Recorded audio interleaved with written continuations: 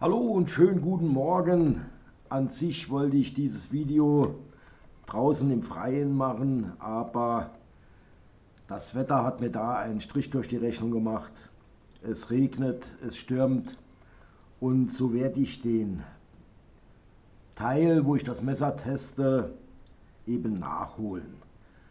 Und äh, nun mal zum Messer. Es ist ein Lupo 2.0 vom Nino angelehnt an seinen ersten gebauten Lupo von vor fünf Jahren, glaube ich. Und hier ist nun das gute Stück und da wollen wir, wollen wir uns zuerst mal die Scheide betrachten und das Messer mal außen vor lassen. Hier ist nun das gute Stück. Wie immer eine erstklassige Sattlerarbeit und äh, das hat ein paar Sachen, die er vorher an seinen Scheiden nicht hatte. Zum Beispiel die Aufnahme für den Keramik-Schärfstab. Da sehen wir hier unten so ein, eine kleine Nase. Da liegt der an. Er kann also nach unten nicht weg und nach oben wird er durch die sehr stabile äh, Schlaufe hier gehalten. Auf der anderen Seite das gleiche, da passt ein 10 mm äh, Firesteel rein. Und die ganze Scheide ist aus Büffelleder gefertigt, wunderschön punziert mit toll aussehenden Nähten und natürlich bleibt der Nino nicht auf einmal erreichter Qualität stehen. Er hat hier wieder eine Verbesserung dran. Und zwar ist das hier dieser eingebaute Magnet, der funktioniert super und hält die Sicherungsschlaufe super fest, so dass man das Messer ziehen kann, ohne diese Lasche zu schneiden. Wirklich ein tolles, tolles, äh, wie soll ich sagen, eine tolle Neuerung, die er da eingeführt hat einfach top. Wir haben hier eine sehr große Gürtelschlaufe. Da passen auch Riesengürtel durch und hier unten natürlich die Lasche mit den zwei Löchern, um das Messer am Bein zu fixieren. Alles sehr sauber gemacht. Hier oben mit seinem Logo Legion 14. Farblich abgesetzte Lederteile, wunderschön und alles sehr, sehr sauber punziert. Und jetzt mal zum Messer. Das ist natürlich wieder ein, ein richtiger Brocken, ein Kracher von Messer. Das ist angelehnt an die Klingenform, die er als erstes gebaut hat, damals mit konvexem Anschliff, dieses Mal mit Hohlschliff und einer ausgeprägten Sekundärphase oder Schneidphase. Das Messer ist rattenscharf. Wir haben hier Wüsteneisenholz, das wunderschön gemasert ist, unterlegt mit roten Leinern.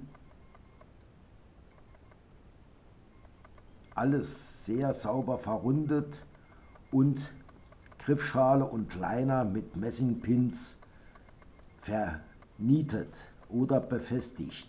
Auf dieser einen Seite sehen wir natürlich das Logo vom Nino, hier oben mit den großen Chimpings, die Traktion verleihen, aber auch nicht äh, zu aggressiv sind. Wir haben hier unten vor dem ersten Choil hier, der sehr tief in die Klinge einfällt, greift, sodass der, äh, der, der Zeigefinger hier nach oben, nach vorne und nach unten gehalten wird. Wir haben hier ein leichtes Chimping, um auch den Finger hier aufzulegen, wenn man das Messer kürzer nimmt. Wir haben hier einen Joel, sodass man das Messer weiter hinten nehmen kann zum Hacken. Wir haben hier hinten ein Schlagstück, ebenfalls mit Bohrung und diese Bohrung in Verbindung mit dieser kann man eben das Messer auch einem an einem Stock befestigen oder man kann sich hier ein Lanyard dran knüpfen, um das Messer noch sicherer zu halten. Die Verarbeitung ist wieder erste Sahne, ein Hohlschliff, super schön ausgeführt, ein tolles Finish auf der Klinge. Und nun wollen wir mal zu den Maßen kommen. Wir haben hier eine Klingenstärke von 5,3 mm. Das ist schon gewaltig, aber trotzdem immer noch führig genug. Die Länge, Moment, da muss ich doch mal meinen Zollstock da rausnehmen. Die Klingenlänge hat an der kürzesten Stelle gemessen hier oben 19,2 cm und hier unten mit dem mit dem Griffstück hier gemessen hat diese Klinge 21,2 cm. Brauchbare Schneide von hier bis hier 19 cm. Die Klingenhöhe ist an der höchsten Stelle satte 5 cm, was mir persönlich sehr gut gefällt. Ich mag hohe Klingen. Jo, es ist jetzt schade, dass draußen kein Wetter ist. Ich wollte draußen, das Messer, der Nino hat gesagt, ich soll das mal draußen im Freien testen, hacken, schnitzen und auch dieses Schlagstück hier hinten soll ich mal testen, um Äste zu zerfasern. Man kann hier auch auch den Daumen auflegen, der wird hier sicher, sicher gehalten. War ich gar nicht im Bild. Einfach wieder ein gelungenes, gelungenes Messer.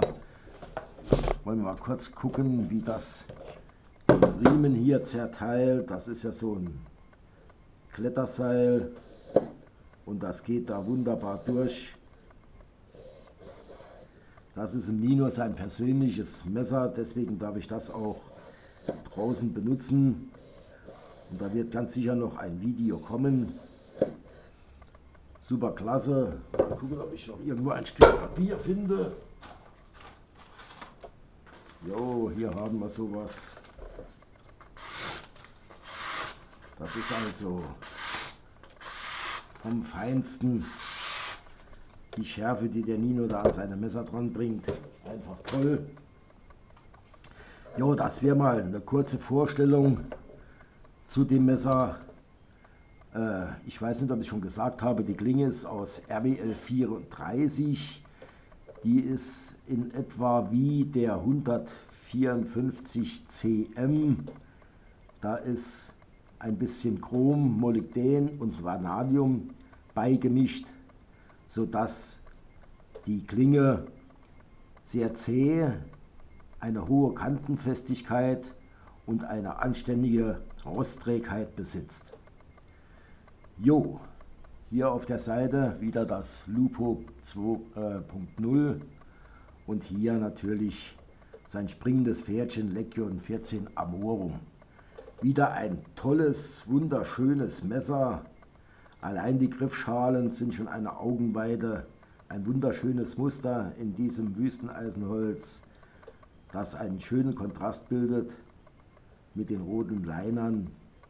Alles wunderbar verrundet, da gibt es also gar nichts dran zu meckern. Ein wunderschönes Messer und zu einem wunderschönen Messer gehört natürlich auch die passende Scheide. Jo, das wäre es im Moment mal gewesen. Da folgt noch ein Video, wenn ich mit dem Messer arbeite. Bis dahin und das wäre es dann gewesen. Tschüss.